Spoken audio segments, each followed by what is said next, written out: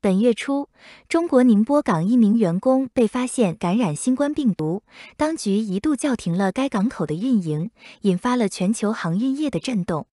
这一事件凸显了全球供应链之脆弱，以及港口在当今世界经济中的重要性。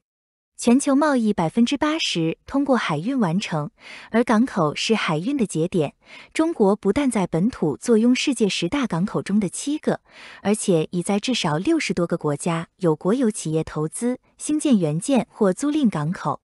希腊的比雷埃夫斯港位于素有“海上十字路口”之称的爱琴海，辐射欧洲大陆、中东和非洲，在希腊语中为扼守通道之地。中国最大的远洋运输公司中国远洋运输有限公司中远在二零一六年收购了该港的管理权。本星期，希腊一家法院又批准这一欧洲的南大门港口向中远出售更多的股权，使中远在这一地中海重要枢纽的股权从目前的百分之五十一提高到了百分之六十七。中远最近的另一出连台好戏，可能是德国汉堡港 （Port of Hamburg）。中远入股这一德国第一大港的谈判或即将完成。位于北海和波罗的海之间的汉堡港是世界上最重要的外贸中心之一，是欧洲最大的铁路港口。该港官网已包括中文版，称这一欧洲最大的铁路港口在通往中国的新丝绸之路上发挥着关键作用。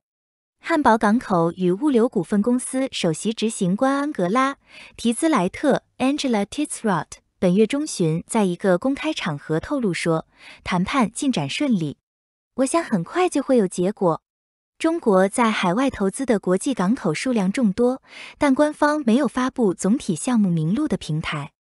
据中国最大的港口业务公司之一招商局集团官网上的一篇文章说，在两千年，中企经营的海外港口不到十个。但是有中国学者的统计说，截至到二零一九年，中国在海外以收购、投资、承建、援建和租赁等形式完成的项目总计已多达一百零一个。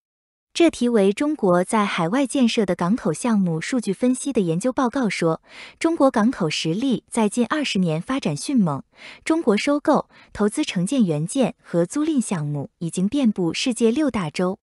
英国前国际贸易大臣利亚姆·福克斯 （Liam Fox） 和美国前国家安全顾问罗伯特·麦克法兰 （Robert McFarlane） 最近联名撰写的一篇文章说。今天，中国在全球拥有九十六个港口，其中一些地处海上贸易的关键地点，这也包括能源贸易，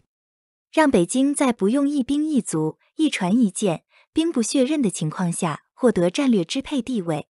中远官网上的资料说，截止到今年六月，该集团在全球三十六个港口运营及管理三百五十七个泊位，其中二百一十个为集装箱泊位，码头组合遍布东南亚、中东、欧洲、南美洲和地中海等。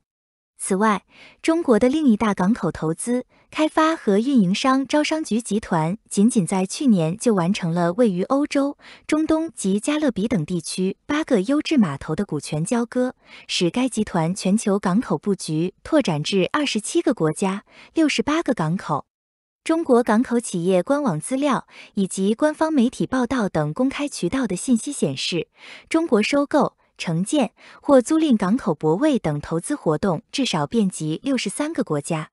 观察人士指出，港口并不仅是船舶来往的停靠之地，而且直接涉及到一个国家的进出口权、贸易往来，关系到造船、陆地运输、电网等等一系列基础设施建设和经济政策。